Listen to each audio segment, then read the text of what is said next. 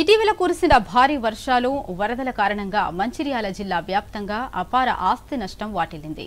జిల్లాలోని సుమారు రెండు వందల ఎకరాల్లో పంటలు నీట మునిగినట్లు వ్యవసాయ శాఖ అధికారులు ప్రాథమికంగా అంచనా వేశారు. మంచిర్యాల జిల్లా మందమర్రి నుంచి లంబాడిగూడెం మధ్య వాగు దాటేందుకు బ్రిడ్జి లేకపోవడంతో ప్రజలు తీవ్ర ఇబ్బందులు ఎదుర్కొంటున్నారు. వర్షాలు కురిసినప్పుడల్లా వాగు దాటలేక ఇక్కట్లు పడుతున్న వారు బ్రిడ్జి నిర్మాణం చేపట్టాలని డిమాండ్ చేస్తున్నారు. పాఠశాల విద్యార్థులతో పాటు వివిధ పనులకు వెళ్ళాల్సిన వాళ్ళు బ్రిడ్జి దాటేందుకు తీవ్ర ఇబ్బందులు పడుతున్నారు. మరోవైపు తల్లి బిడ్డల సంక్షేమం కోసం నిర్మించిన మాతా శిశు ఆరోగ్య కేంద్రం వరదలు వచ్చిన ప్రతిసారి నీట మురుగుతోందని స్థానికులు వాపోతున్నారు. దీనిపై మా ప్రతినిధి అజయ్ మరిన్ని వివరాలు అందిస్తారు. చెప్పండి అజయ్ మందమర్రి లంబాడిగూడెం మధ్య వాగుపై బ్రిడ్జి లేకపోవడంతో ప్రజలు ఎలాంటి ఇబ్బందులు ఎదుర్కొంటున్నారు? దశాబ్దాల కాలంగా ఇక్కడ బ్రిడ్జి లేకపోవడంతో ప్రజలు తీవ్ర ఇబ్బందులు ఎదుర్కొంటున్నారు.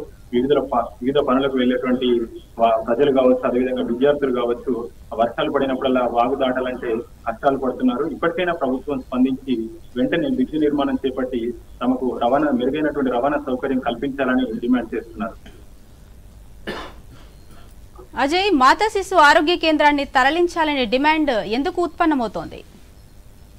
అయితే రాష్ట్ర ప్రభుత్వం ప్రతిష్టాత్మకంగా అన్ని అన్ని జిల్లా కేంద్రాల్లో మాతా శిశు ఆరోగ్య కేంద్రాలు నిర్మిస్తుంది తల్లి బిడ్డల సంక్షేమం కోసం. అదేవిధంగా మంచిర్యాల జిల్లా కేంద్రంలోని సమీపంలోని గోదావరి నది తీరాన ఈ యొక్క మాతా శిశు ఆరోగ్య కేంద్రాన్ని నిర్మించడం జరిగింది.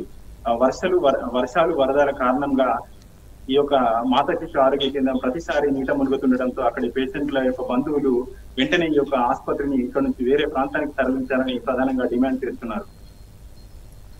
ధన్యవాదాలు అజయ్. оперативно.